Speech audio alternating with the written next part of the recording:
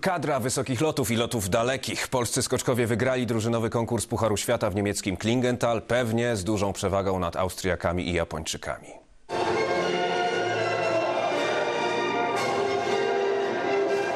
Oni już wygrywają, a on już śpiewa. Polski hymn w wykonaniu Michała Doleżala po raz pierwszy. Myślę, że tą najważniejszą część umie.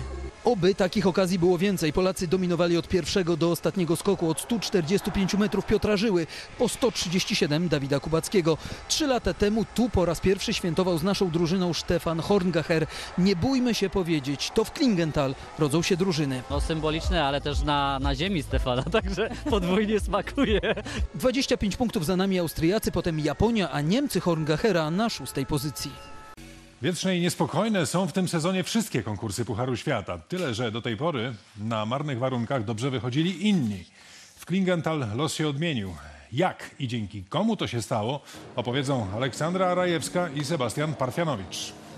Mamy to, powiedział po czesku Michał Doleżal, a potem już po polsku zaśpiewał e, Mazurka Dąbrowskiego. Po raz pierwszy mamy nadzieję, że e, nie ostatni piękny dzień na skoczni Klingenthal i kolejny dowód na to, jak nieprzewidywalne są skoki. Zawsze nas zaskoczą.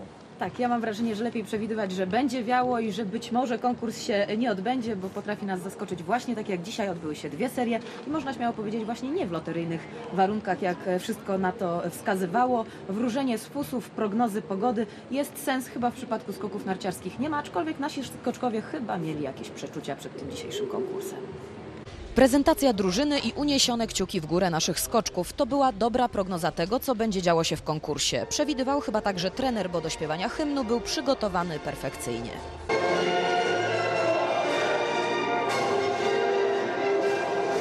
Tak, e, nie umie cali, ale myślę, że tą najważniejszą część umie.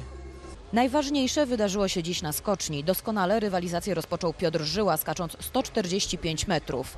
Poczynania kolegi wymownym uśmiechem skwitował Jakub Wolny, a potem sam zabrał się do pracy. Rezultat 136 metrów. 126 Kamila Stocha i 133,5 Dawida Kubackiego pozwoliło utrzymać Polakom prowadzenie po pierwszej serii. I pomyśleć, że ze względu na prognozy pogody i silny wiatr, dzisiejsza rywalizacja była zagrożona.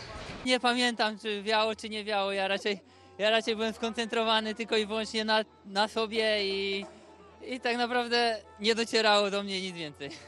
Piotr Żyła w swoim świecie. W drugiej serii skoczył 127,5 metra, krócej także Jakub Wolny 130, Kamil Stoch regularny 126. Los drużyny miał więc w swoich rękach Dawid Kubacki, ale złudzeń rywalom nie pozostawił, lądując na 137 metrze. E, Mieliśmy pewne tam e, perypetie z różnych powodów w tych, początkowych konkursach, ale myślę, że dzisiaj nie tylko kibicom, ale i sobie udowodniliśmy, że, że to co robimy jest na, na dobrym torze. Po trzech latach znów w Klingenthal, znów na najwyższym stopniu podium i niech to tylko będzie dobra prognoza dla biało-czerwonych przed kolejnymi konkursami.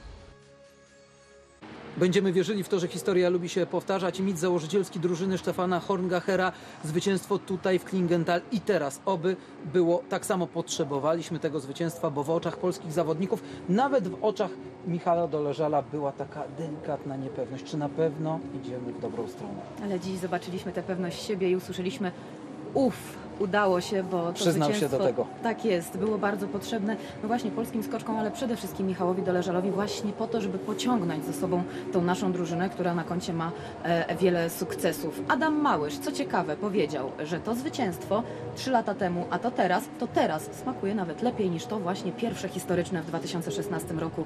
Rozwinie temat? Posłuchajmy, Adam Małysz. Historia lubi się powtarzać. Ty wiesz, co było trzy lata temu w Klingenthal? Nie. Pierwszy raz Polska wygrała konkurs Pucharu Świata i to była pierwsza drużynówka Stefana Horngachera. Dziś swój pierwszy sukces odnosi Michał Doleżal. Pierwsze zwycięstwo. Symboliczne. No symboliczne, ale też na, na ziemi Stefana, także podwójnie smakuje, mi się wydaje.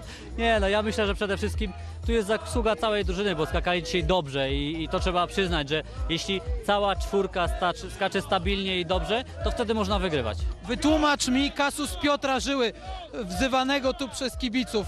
Dwa, dwie różne osobowości, w Niżnym Tagile i tutaj. Ten konkurs zaczął się dla nas fantastycznie dzięki niemu. Ja bym o Piotrku nie chciał gadać, bo ja, Piotrek jest e, nietypowy. No, nie ma takiej drugiej chyba osoby na świecie, która potrafi po prostu z jednej skrajności wejść w zupełnie inną skrajność i po prostu działać lub nie działać.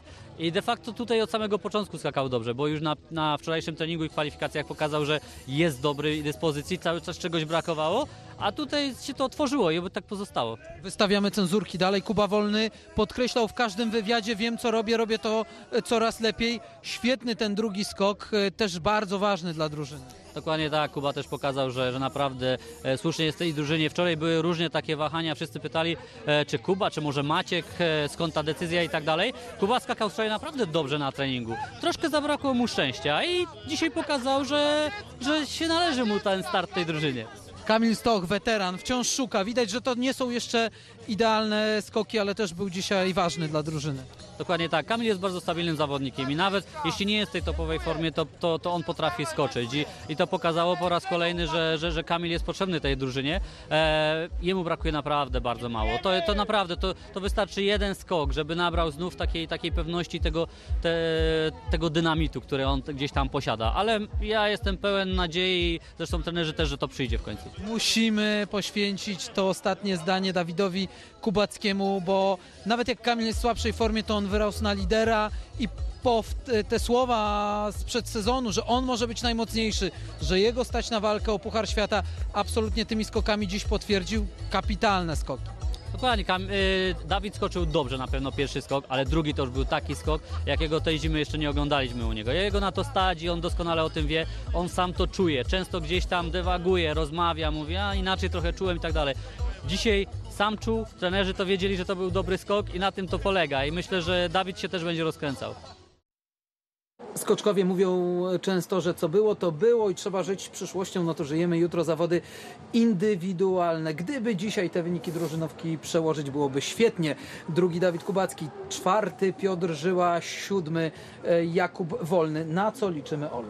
Ja bym tylko chciała zaznaczyć, że pierwszy Ryoyu Kobayashi, Oj, który fascynuje mnie, ponieważ w treningach wczoraj 139 metrów dwa razy i dzisiaj też w pierwszej serii 139 metrów. Nie wiem, czy upatrzył sobie ten punkt na skoczni. Miejmy nadzieję, że jutro dalekie punkty upatrzą sobie przede wszystkim biało-czerwoni. Trzymamy za to kciuki. Jesteśmy jutro z Państwem. Konkurs studio od 15.05 w TVP Sport. Konkurs o 16.00. Oby bez przeszkód i oby z pięknym finałem jak dziś. Dobranoc. Dobranoc, do zobaczenia.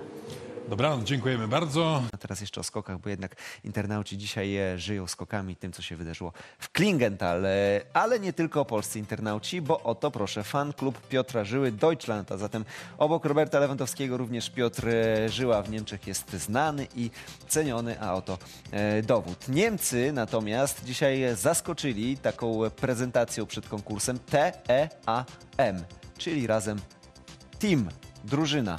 I taki napis zaprezentowali e, kibicom, co się bardzo internautom spodobało, chociaż niektórzy piszą, nie, nie piszą Niemcy, pokazywali dzisiejsze kierunki wiatru, bo rzeczywiście kręciło tym wiatrem e, na skoczni.